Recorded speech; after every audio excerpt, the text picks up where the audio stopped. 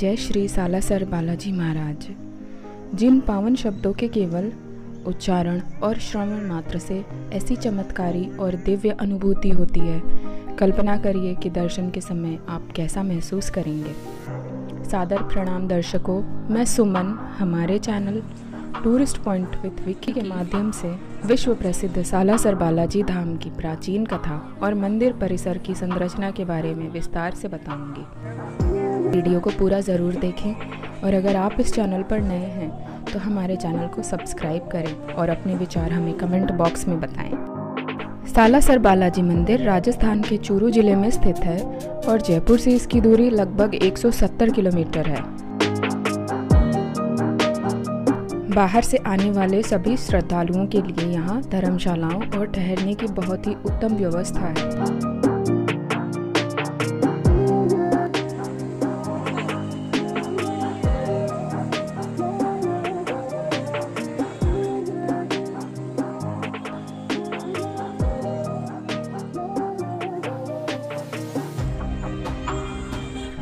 पौराणिक कथा अनुसार सालासर ग्राम में रहने वाले संत श्री मोहनदास जी महाराज बालाजी के परम भक्त थे और सदैव बालाजी की भक्ति में लीन रहा करते थे।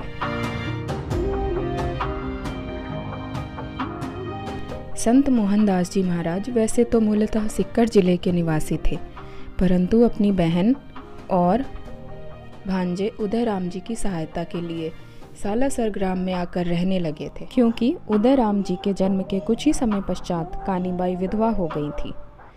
उधर सालासर ग्राम से कई सौ किलोमीटर दूर नागौर ज़िले के आसोटा गाँव में जब एक किसान हल जोत रहा था, तब उसके हल के नीचे कुछ फंसा। ठीक उसी समय उसकी पत्नी उसके लिए भोजन लेकर आई थी। फिर उसने जब उस पत्थर की मिट्टी हटाई तो पाया कि ये तो बालाजी की प्रतिमा है। फिर दोनों ने श्रद्धापूर्वक वहीं एक वृक्ष के नीचे उन्हें प्रणाम कर भोजन में मौजूद चूरमे का भोग लगाया और तब से बालाजी को चूरमे के भोग की प्रथा का प्रारंभ हो गया।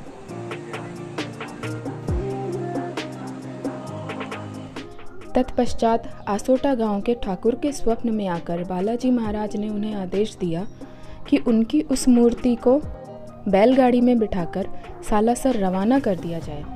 और उसी वक्त मोहनदास जी के स्वप्न में आकर बालाजी ने उन्हें आदेश दिया कि आसोटा ग्राम से आने वाली बैलगाड़ी जहाँ भी रुके, वहीं उस बैलगाड़ी में मौजूद प्रतिमा की स्थापना कर दी जाए।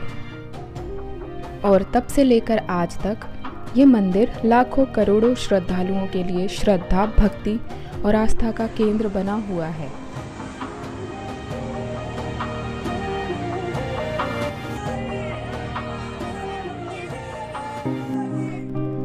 तो चलिए चलते हैं मंदिर परिसर में और दर्शन करते हैं विश्व प्रसिद्ध सालासर बालाजी महाराज के।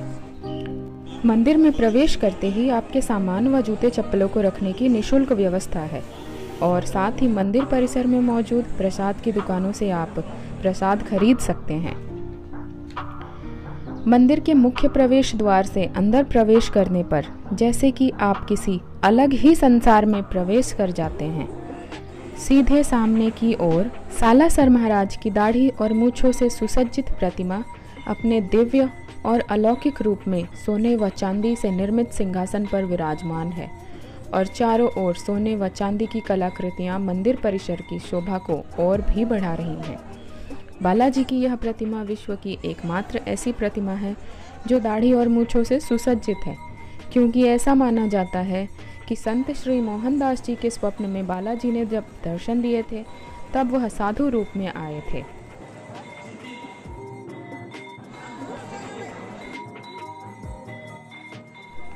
दर्शन करने के पश्चात बाहर आते ही आपको जांटी का वृक्ष दिखाई देगा। इस वृक्ष पर लाल धागा व नारियल बांधने पर भक्तों की सारी मनोकामनाएँ पूर्ण होती हैं और बालाजी महाराज उनके सारे कष्ट हर लेते हैं। यहाँ से थोड़ा और आगे आते ही अखंड धूना ज्योति जलती रहती है, जिसे संत श्री मोहनदास जी महाराज ने स्वयं अपने हाथों से जलाई थी और ये तब से अब तक निरंतर जल रही है। और ऐसी मान्यता है कि दर्शन के पश्चात इस धूने की परिक्रमा अवश्य लगानी चाहिए। यहाँ से प्राप्त भभूति में दिव्य शक्ति होती है तथा इसके स्पर्श मात्र से ही आप हर तरह की पीड़ा से मुक्त हो सकते हैं। आप इसे ज़रूर अपने साथ अपने घर पर ले जाएँ और अपने पूजा स्थान पर संभाल कर रखें। और पास में ही स्थित है आरती हॉल, जहाँ बैठकर आप एक अद्भुत शांति का अनुभव करेंगे। यहाँ पर आप हनुमान जी का पाठ व चालीसा पढ़ सकते हैं।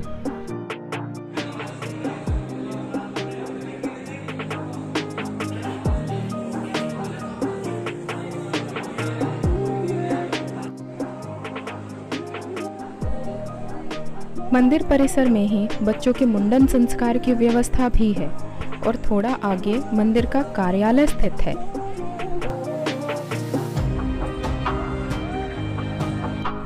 मंदिर कार्यालय के पास में ही मंदिर कमेटी द्वारा प्रसाद व स्वामणी कराने की व्यवस्था की गई है।